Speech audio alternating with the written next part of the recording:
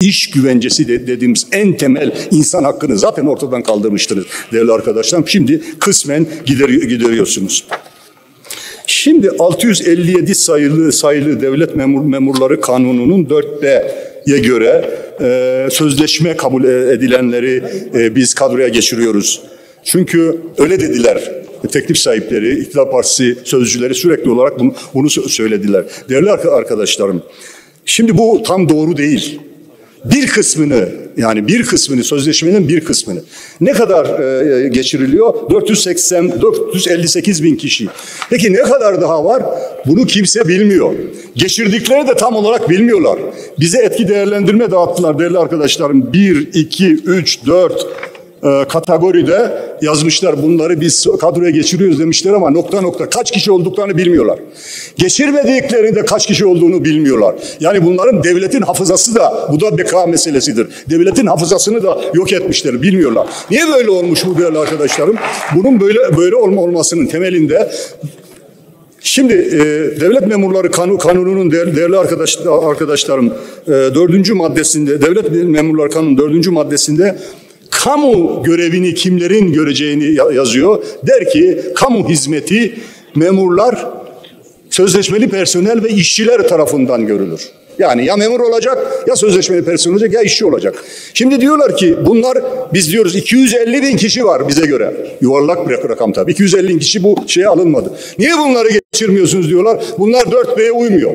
Niye uymuyor? İşçi midir bunlar? Hayır. Peki memur mudur bunlar? Hayır. Sözleşmeli midir? Hayır. Peki siz 650 bin kişiyi korsan olarak mı çalıştırıyorsunuz ya? Siz devleti de devlet olmaktan çıkardınız değerli arkadaşlarım. Biz muz cumhuriyeti miyiz arkadaşlar? Şimdi Muz Cumhuriyeti, efendim Şadır Devleti bu Anadolu'da tutunabilir mi değerli arkadaşlarım? Böyle bir şey var mı? Hukuk olmadıkça çok bağırmak. Bu, bu da bu da çok troll şeyidir biliyor musunuz? Esas konu konuyu başka tarafa saptırmak için troll troll böyle saçma sapan konuyla ilgisi olmayan laflar sokuşturur. Cemal gibi bir arkadaşımıza çok değerli akademisyen bir arkadaşa bunu yakıştıramadım. Ama öyle bir şeyin içine düştü ki Adalet ve Kalkınma Partisi'nin içine 20 senede maalesef bu güzel insanlar bu hale geldiler üzgünüm.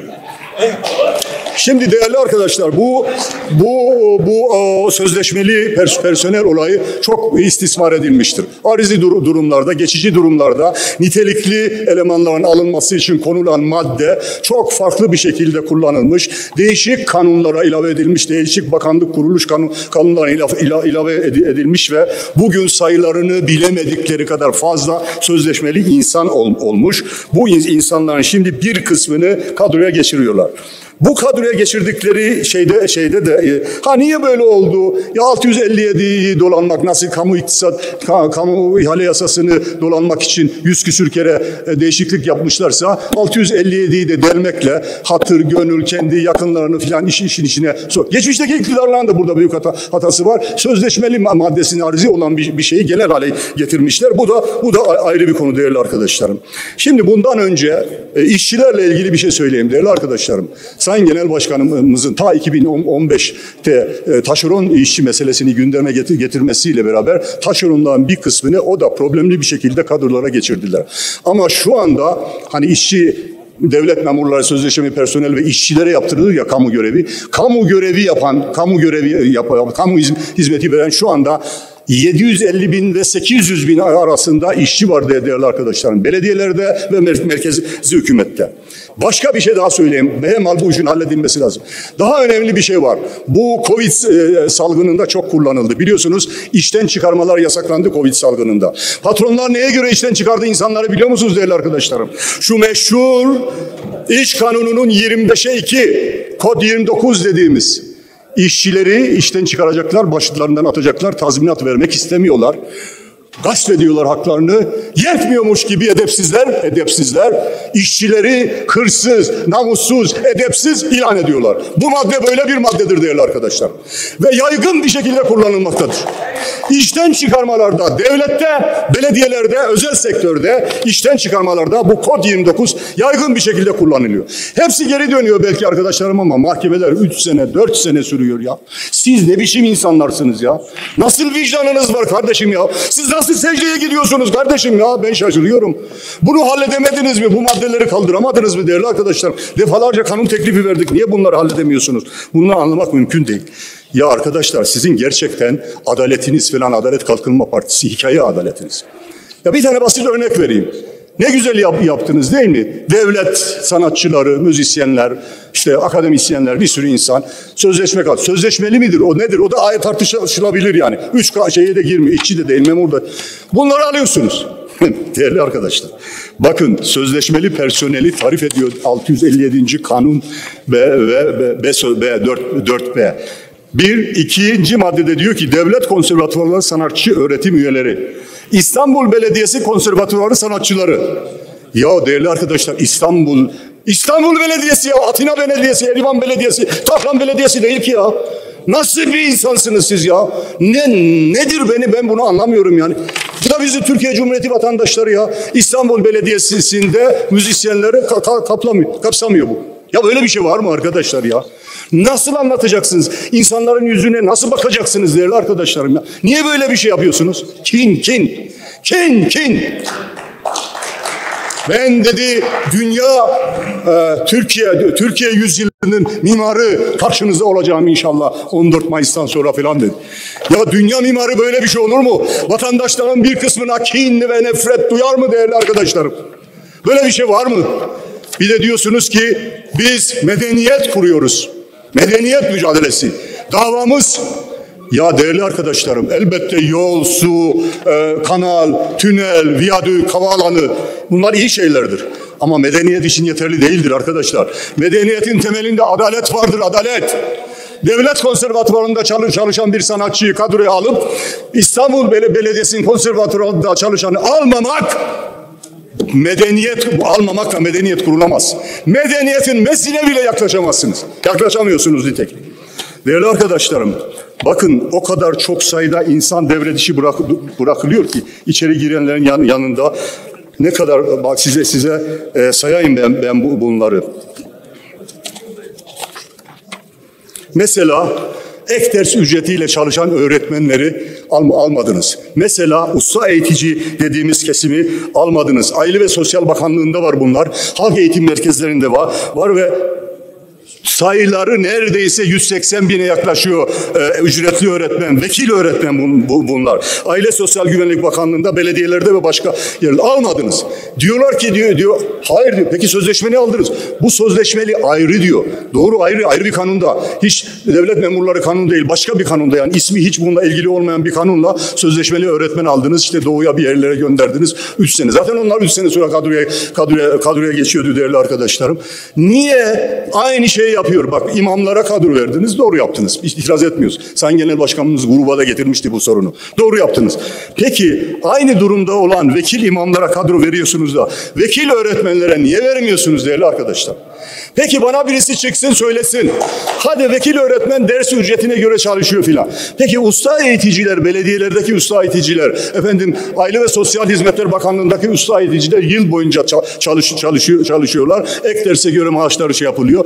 Peki birisi çıksın, kanun sahibi arkadaşınız burada mı? Tabii duyamadı, dayanamadı söyleyeceklerimizi. Hakime, sayın hakimiz bu, bu, burada. Bu, bu, burada, burada değil. Bu, bu, bu arkada oturuyormuş, buradaymış. Cevap, cevap versin şimdi. Bu insanlar hangi kategoriyle çalıştırıyorsunuz? Siz korsan devlet misiniz? Bunlara kamu hizmeti, Türkiye Cumhuriyeti vatandaşlarına ya da başka dünya vatandaşlarına kamu hizmeti ya memurdur ya sözleşmeli pers- personeldir değerli arkadaşlarım ya da işçidir. Peki siz bu insanlara, bu on binlerce insanı ne diye çalıştırıyordunuz ya? Siz hukuk uygulamıyor musunuz ya? Devleti korsan devlet haline mi getirdiniz değerli arkadaşlarım? Muz cumhuriyeti haline mi getirdiniz ya? Peki bu insanlara niye bu kadroları vermiyorsunuz? Nasıl anlatacaksınız bu insanlara? Danışmanlarımız değerli arkadaşlarımız diyoruz ki ya bunların iş güvenceleri falan herkes söyledi ha iş güvenceleri hiçbir şeyli, şeyli kalıyorlar. Niye bunları ver, vermiyorsunuz şeyleri? Ya dediler ki işte bunlar şöyle böyle filan. Şimdi bakıyorum Nasıl çalıştığını onlara bakıyorum şimdi. Milletvekiline yardımcı olmak üzere kadro şartı aranmaksızın ve diğer kanunlar bir şey koymuşlar buraya. Sözleşmeyi personel çalıştırması hakkında hükümlerine bağlı olmaksızın. Her milletvekili için bir danışman, bir ikinci danışman ve bir ilave personel sözleşmeli olarak çalıştırılabilir. Ya Allah'tan korkun ya. Sözleşmeli olarak çalıştırılabilir. Peki niye bunlara bu hükümleri uygulamıyorsunuz? Bir, bir söyleyin. Yani bu dev, de, devlet 100 kişiye 500 kişiye adalet veremiyor mu? Bundan dolayı mı ihya olacak? Nedir arkadaşlar? İnat mıdır? Her şeyi biz biliriz. İşte muhalefet söyledi onun için yapmayacağız bunu. Bunun halbuki muhalefetin söylediği bir sürü işleri yapıyorsunuz ama eksik bir şekilde yap, yapıyorsunuz. Bunlar bunlar nedir yani? Birisi gelip bize anlatabilir mi değerli arkadaşlarım? Peki. Arkadaşımız da söyledi. Er, sözleşmeli er erbaş. Niye bunlara kadro vermiyorsunuz? Bunlar sözleşmeli değil de devamlı olan uzman çavuş ve erler, erlerle aynı işleri yapıyorlar. Uzman er ve erbaş. Sözleşmeli er ve erbaş bunlar. Aynı işleri yapıyorlar. Cephede beraber gidiyorlar. Beraber ölüyorlar. Tabutları beraber geliyor. Yan yana dizip namazlarını kılıyoruz. Siz nasıl bir vicdan taşıyorsunuz değerli arkadaşlarım? Ben anlamıyorum sizi. Gerçekten size üzü, üzülüyorum. Acıyorum size değerli arkadaşlarım. Vallahi acıyorum ya. Bu kadar çelişki, evet sana da acıyorum. Bu kadar çelişki yaşanabilir mi değerli arkadaşlar? Bir şey kalıyor. Siz yalan yapıyorsunuz. Numara çekiyorsunuz millete. Öyle bu kadar açık olan şey örtülebilir mi? Ne kadar bu insanların sayısı kaç kişi? Niye bir devlet, bir ordu değerli arkadaşlarım? Niye savaşa, ölüme gönderdiği insanlara ayrı bir kadro, güvencesi olmayan bir kadro veriyor? Böyle bir şey var mı? Niye bir devlet aynı işi yaptırdığı öğretmenin bir tanesine 3500 lira ma maaş veriyor, öbürüne 10 bin lira maaş veriyor. Birisi gelsin bunu bana anlatsın, ben özür dileyeyim, anladım diyeyim. Niye bunu yapıyorsunuz değerli arkadaşlarım? Devlet olmaya, hukuk devleti olmaya yakışır mı bu? Nasıl bunu içinize sindiriyorsunuz? Anlamıyorum.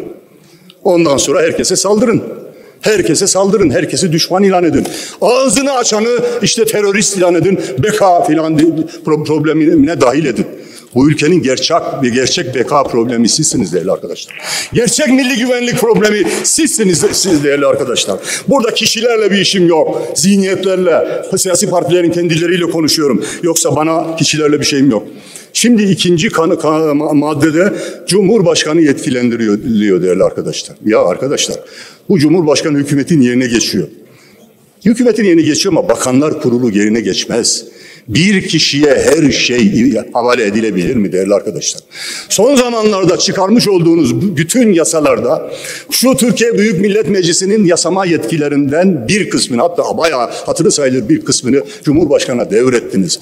Böyle bir şey olmaz. Böyle bir demokrasi olmaz. Ya bunları söylüyoruz değerli arkadaşlarım. Sizin dinlediğinizi sanmıyorum. Zaten salonda hiç kimse yok. Tarihe geçiyoruz buraya. Kayıtlara geçiyoruz. Yoksa sizin heyetiniz artık gözü olup görmeyen, kulağı olup işitmeyen, vicdanı zaten olmayanlar sınıfına girmiş vaziyettesiniz değerli arkadaşlar. Size kızmıyorum.